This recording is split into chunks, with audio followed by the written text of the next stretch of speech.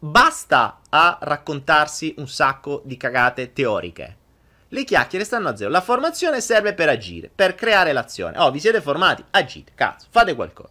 Siate curiosi. Diventate, diventate delle persone nuove facendo cose diverse. Anche se possono sembrare che non vi piacciono, che non vi possono essere utili. Eppure scoprirete che se saprete cercare esattamente come nel flusso, troverete delle risposte.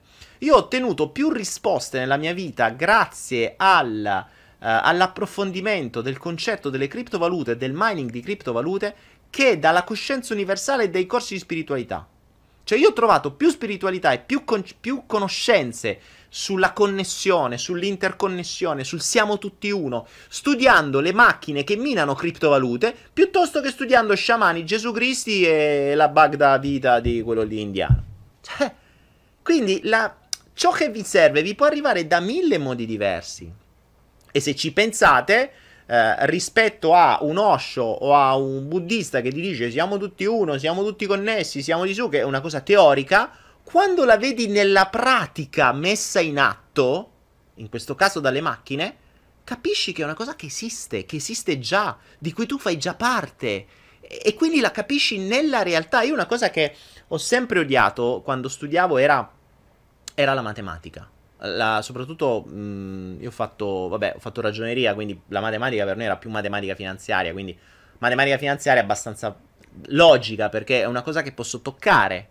Cioè, un rate, un risconto, una percentuale, un, un bilancio, cioè, sono tutti numeri che sono legati a qualcosa di materiale, cioè che tu puoi razionalizzare, puoi capire, che perché la matematica è razionale, cioè stiamo parlando della, della parte sinistra del cervello, quindi mi devi soddisfare la parte sinistra del cervello. Quando arrivo poi all'università, ho fatto un po' di anni università di economia e, e, e mi sono approcciato alla matematica, non ci ho capito un cazzo. Perché? Perché c'è i teoremi, c'avevi sti cosi che questi scrivevano dei simboli che io manco sapevo, io non li avevo manco mai studiati, e, e li dovevi dimostrare. Ma se non ci capisco manco a che cazzo, cioè tu prima spiegami a cosa serve. Cioè dammi un'applicazione alla vita pratica. Quando mi dai un'applicazione alla vita pratica, allora io riesco a capirlo. Cioè, tu applicami quel teorema a delle mele, a delle pere, io lo capisco. Applicamelo a qualcosa di pratico, io lo capisco. Ma quando mi viene a dire, no, questo teorema tu lo, app- lo fai, eh, lo, lo, lo, risolvi per assurdo, perché visto che non si può risolvere in nessuna maniera, deve essere per forza così. Ma che cazzo stai a dire? Cioè, spiegamelo in una maniera logica. Infatti la matematica io sono a zap, cioè, per me la matematica è ti, ti, faccio i calcoli di percentuali di bilancio, di utili e di cose a memoria, a, a occhio. ti valuto un bilancio di un'azienda in lettura veloce. Però non mi parlate di matematica e di cose analitiche che veramente non ci capisco un cazzo.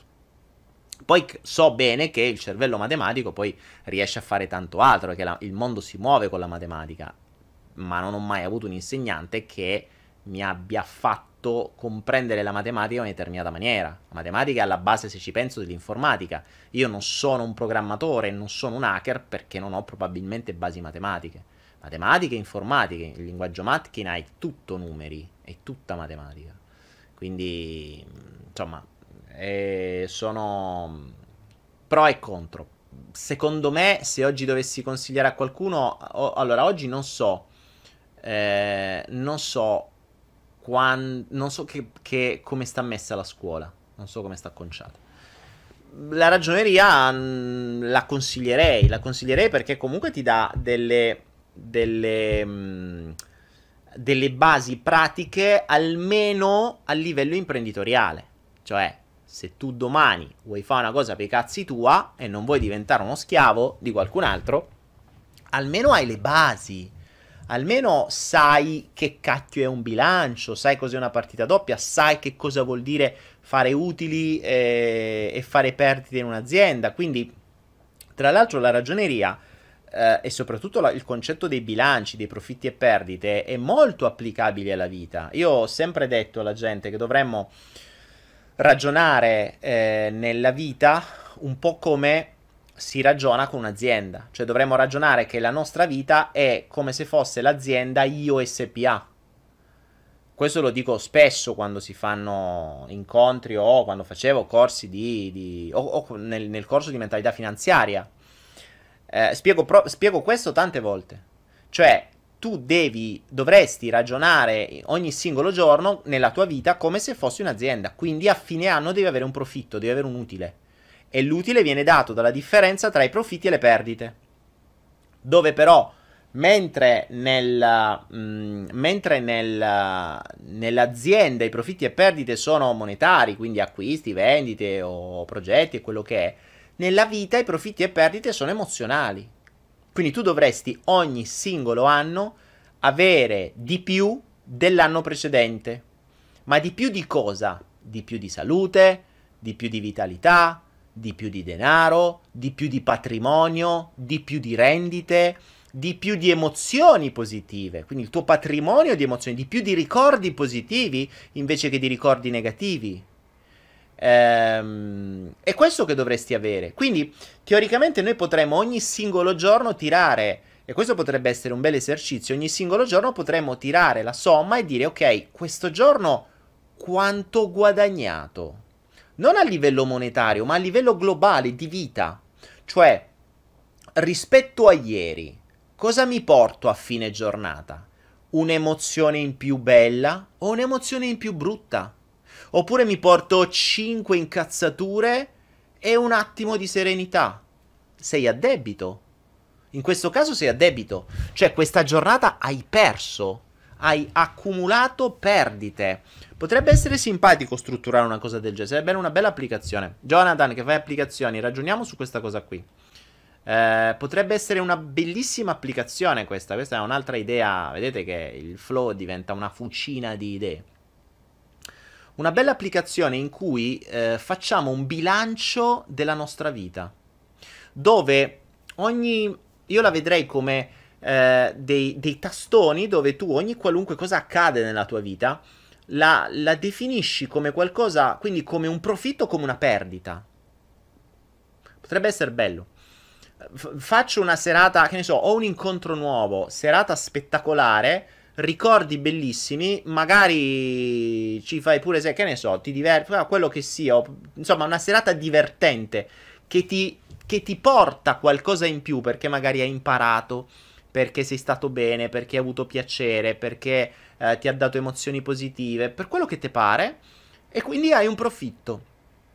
Giorno dopo, eh, litigato col capo, hai litigato col compagno e la compagna, hai litigato tuo figlio, hai, ah, hai, preso, hai preso delle perdite e a fine mese potremmo vedere costantemente, quindi si potrebbe avere una sorta un po' come quando vai dal commercialista, no? Che vedi come stai messo a sto mese, devi pagare o devi ricevere? E così via. Potrebbe essere una bella applicazione per avere un biofeedback immediato di come la vita ci sta andando. Sarebbe una bella, una bella cosa. Per cui mh, mm, questa potrebbe essere molto molto bella. È una cosa che mi sarebbe sempre piaciuta. Io fondamentalmente la faccio. Eh, chi mi conosce sa che a volte Mm, il mio fisico è abituato a se la giornata non ha portato profitto, ma non parlo di profitto monetario, eh, parlo di profitto totale. Cioè, se questa giornata non mi ha dato qualcosa, non vado a dormire. E infatti dormo meno perché devo recuperare. È come se avessi questa, questa, eh, questa voglia di, di vivere, di migliorare, di crescere. E se una giornata mi è andata un po' storta perché determinate cose sono andate, questi giorni ne sono andate delle cose storte, uff. Quindi, infatti, questi giorni sto sconvolgendo gli orari perché c'è tutta una serie di eventi che mi stanno dando dei messaggi e che mi stanno letteralmente spostando completamente. Quindi c'è, c'è un cambio epocale in questi giorni cambio epocale perché è proprio una, un, una chiusura col vecchio. Cioè, eh, lo stiamo vedendo sui software, lo stiamo vedendo sul... Abbiamo avuto attacchi hacker, abbiamo avuto eh, chiusura dei... Mh, siamo stati senza luce per giorni, siamo stati senza linea internet per giorni. C'è tutta una serie di robe che sono son morti tutti. Insomma, tutta una serie di robe che stanno palesemente preparando a una dipartita in qualche modo quindi a un passaggio e fondamentalmente dovevo, dovevo, um, dovevo alzare il culo, cioè dopo letteralmente muovermi. Lella Lella dice poi ci sono giorni in cui si presenta un miracolo e tutto il debito si azzera.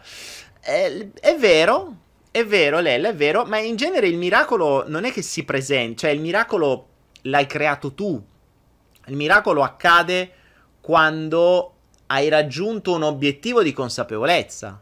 Quindi se eri totalmente fuori strada e prendevi merda dalla mattina alla sera, appena capisci questo, torni sulla strada maestra, ti viene dato immediatamente il premio, perché te lo dice, cioè, guarda, ok, ci sei, bravo.